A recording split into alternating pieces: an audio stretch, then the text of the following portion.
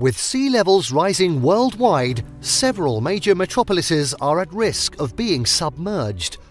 Global warming can be difficult to properly visualize. If you're not directly threatened by rising sea levels, suffering water shortages, or ravaged by wildfires, how do you know it's really happening? It can all seem a little abstract. In this video, we're going to be taking a look at the top 9 cities that could be underwater by 2030. And just wait till you see the top 3, something you may not even have thought of, so make sure you watch till the end. Before we begin though, make sure to subscribe to our YouTube channel for more awesome travel guides and make sure to hit the notification bell so that you know when we publish a new video. So let's cut to the chase. At 9, Savannah, USA. The city of Savannah, Georgia sits in a hurricane hotspot, but even without extreme weather events, the historic city could see land swallowed up by the sea on all sides. The Savannah River in the north and Ogeechee River in the south could both spill out into the nearby marshland, meaning that when hurricanes and flash floods do hit the city, and by 2050 the city is predicted to experience once per century historical flood levels every year, the effects may be even more severe. At 8, Georgetown, Guyana. For centuries, Guyana's capital Georgetown has relied on seawalls, or more accurately, one gigantic 280 mile long seawall for protection from storms. That's because most of the coastline is between 0.5 and 1 metre below high tide. Some 90% of Guyana's population lives on the coast, and as you can see, the country will need to substantially bolster its seawall if Georgetown's central areas are to avoid massive damage.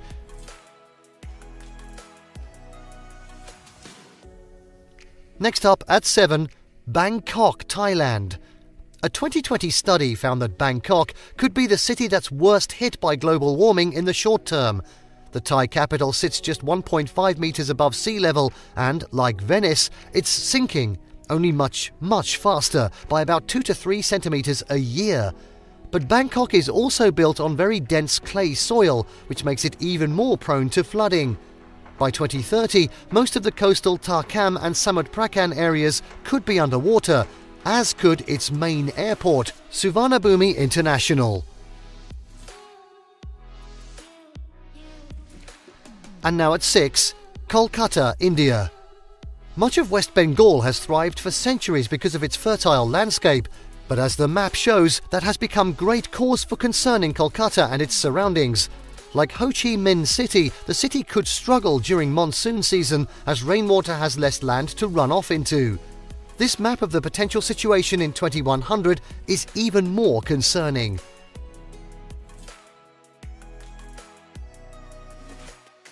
At 5, Ho Chi Minh City, Vietnam.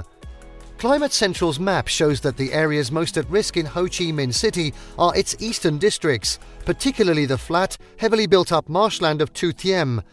But it also looks like the city will be increasingly threatened along the Mekong Delta.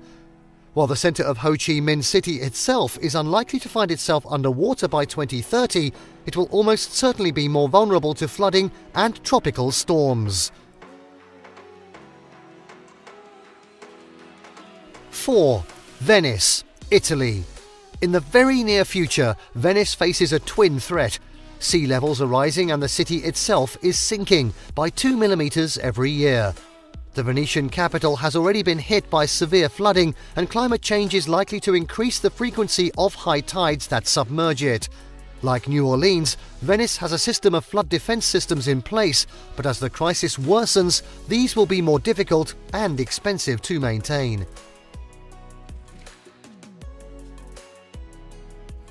At 3, New Orleans, USA. See those sharp, thick grey borders on the map around the centre of New Orleans? That's the city's system of levees that protect it from the swarm of red building up from Lake Maurepas in the north and from Lake Salvador and Little Lake in the south.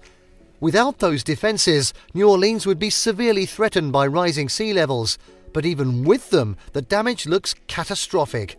The Biloxi and Jean Lafitte wildlife preserves look particularly vulnerable, on the map, both appear almost totally submerged.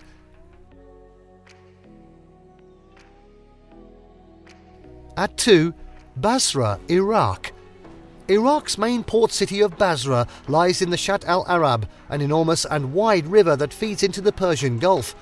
Due to its intricate network of canals and streams, as well as neighbouring marshland, Basra and its surrounding areas are especially vulnerable to a rise in sea levels. And as if that wasn't worrying enough, Basra already suffers significantly from waterborne diseases, so increased flooding carries even more significant threats. And finally, at 1, Amsterdam, the Netherlands. There's a reason they're called the Low Countries. Amsterdam and the cities of Rotterdam and The Hague sit low, flat, and close to the North Sea. The Dutch are famed for their flood defences, and looking at these sea level projections, it seems the country's system of dikes, dams, barriers, levees, and floodgates will become even more essential in the years to come.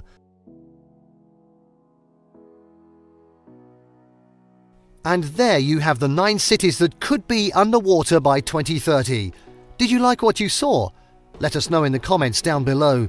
Share this video with your friends and don't forget to subscribe to our channel for more fantastic travel guides. That's all for now. Until next time.